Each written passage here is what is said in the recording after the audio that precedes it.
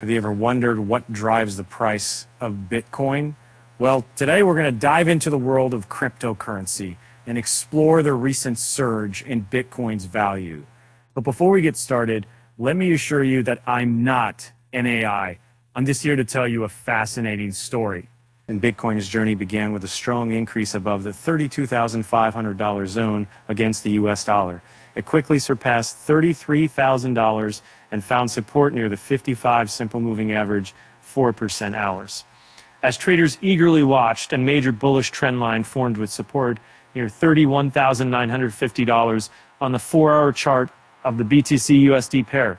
Uh, the excitement grew as experts predicted that if Bitcoin could maintain its position above the $30,000 support zone, it had the potential to continue its upward trajectory, and that's exactly what happened. As Bitcoin price analysis unfolded, it became evident that the cryptocurrency was showing positive signs above $33,500 against the US dollar, while some expected a correction lower. Dips on the lower anticipated to be limited below the $32,000 zone. Now let's take a closer look at how Bitcoin's price played out in recent days. The initial surge saw Bitcoin break through the $30,000 resistance zone and remain stable above $32,500.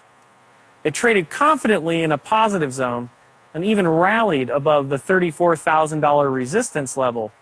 Uh, however, as with any roller coaster ride, there were moments of struggle. Uh, Bitcoin seemed to hit a roadblock near the $35,000 zone and consolidated its gains despite briefly trading below $35,000. It remained well above key levels of support. The upward momentum continued as Bitcoin held steady above $33,500 and maintained its position above the 55 simple moving average four hours. Traders eagerly awaited an upside breakthrough of the $34,500 level. If successful, this could pave the way for a rise towards the coveted $36,500 zone. Uh, but let's not get ahead of ourselves. So, as with any investment, there are risks involved. If Bitcoin fails to break through the resistance levels, a downside correction could be open on the horizon. However, there is hope in the form of the connecting bullish trend line with support near $31,950 on the four hour chart. In the grand scheme of things, Bitcoin's price remains above $33,500 and the 55 simple moving average, four hours. This suggests that there is still potential for further growth if you are